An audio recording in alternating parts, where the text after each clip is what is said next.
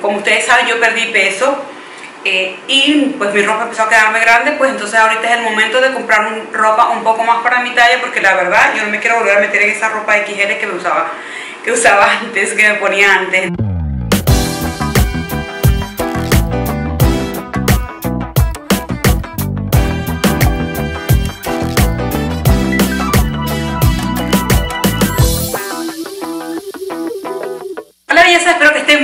Bien. Yo soy Pierina Ocati, como ustedes me conocen. Y, bueno, no sé qué voy a hacer con los gorritos de la espalda, se va a seguir adelgazando, chicas. En esta cuarentena me engordé 5 kilos de los 15 que había bajado.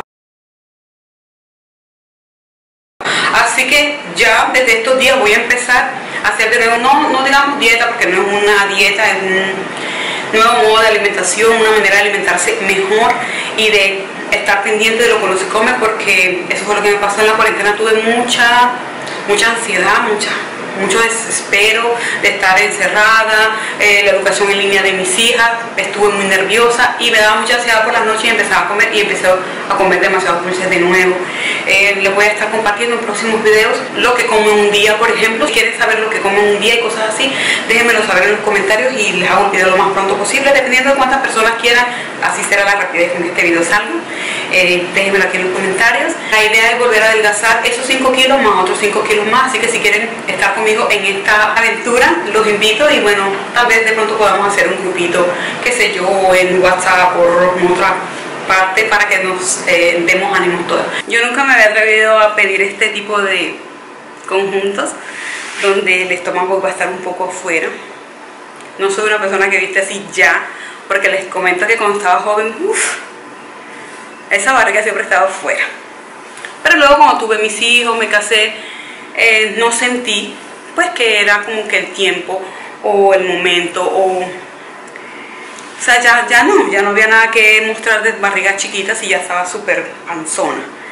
Entonces dije, voy a pedirme este y a ver qué siento. Obviamente yo no tengo un estómago tonificado por el ejercicio y hace años, al menos unos 15 años, yo no me coloco nada que, se, que muestre piel de esta manera. Ahora yo sé que muchas personas se van a preguntar, pero Katy, tú eres una mamá una mamá no debería usar esa ropa, una mamá puede usar lo que quiera.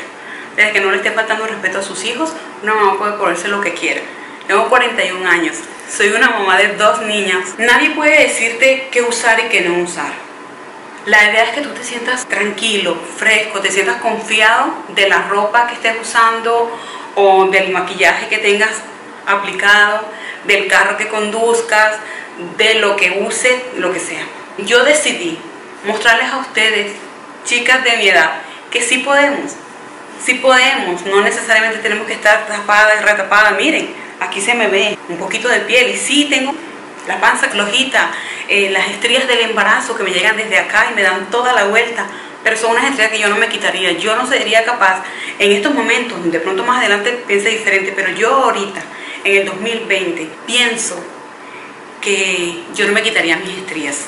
Eso de que, pudiera yo hacer una cirugía, ahora que ya se me está poniendo el estómago bastante blandito, y yo sé que se me va a poner más porque mi deseo es perder 10 kilos más de peso. Yo sé que se me va a poner mucho más blandito. Ahorita yo me lo toco así y me lo agarro y está súper blando y puedo ver mucho más las estrellas de mi embarazo. Pero es algo que yo no me quitaría porque es la marca, la marca de que mis hijas estuvieron allí, de que yo como una leona protegía a mis bebés por todo ese tiempo. Las marcas de la, de la cesárea, porque fueron dos, también las voy a dejar ahí y mi marca de, mi marca de la apendicitis también va a quedar ahí y mi marca acá, acá yo tengo una marca de cuando me operaron de cuando me retiraron la vesícula. Tengo una acá, una en el ombligo y dos por acá. Y son marcas que tengo ahí y ahí se quedan. Ahí se quedan porque son mis marcas de guerrera, son mis marcas de vida, de, de, de que fue una sobreviviente de algo. Debemos amar nuestro cuerpo. Y yo en estos momentos me amo tal y como soy y me siento más pierina, más esa muchachita que había quedado en el camino. Esta muchachita que había quedado en pequeñas secciones de mi vida o en pequeños momentos de mi vida donde yo tuve que agradar a otra persona, hacer feliz a otra persona sin importarme lo que de verdad sentía en mi corazón y lo que yo de verdad quería. Entonces ha sido un proceso largo y ustedes saben que hace tiempo yo no subía videos tan constantes. Después que tuve mi tendinitis en el brazo, yo dejé de, subir tantos videos y porque me estaba encontrando a mí misma si ustedes quieren que yo les hable de ese tema, de cómo, cómo me encontré a mí misma, cómo salí de la depresión, porque yo estuve cuatro años casi deprimida, madre y tomando medicamentos. De eso nadie se enteró y esas eran las veces que yo dejaba mi canal como quien dice abandonada por un tiempo. Si usted quiere saber más de eso, yo le puedo comentar. Si ustedes necesitan una ayuda, escríbanme cuando quieran. En YouTube no escriban porque en YouTube yo no sé si llegan los mensajes y no sé la verdad. Pero pueden contactarme por, el grupo de Facebook, por mi perfil de Instagram.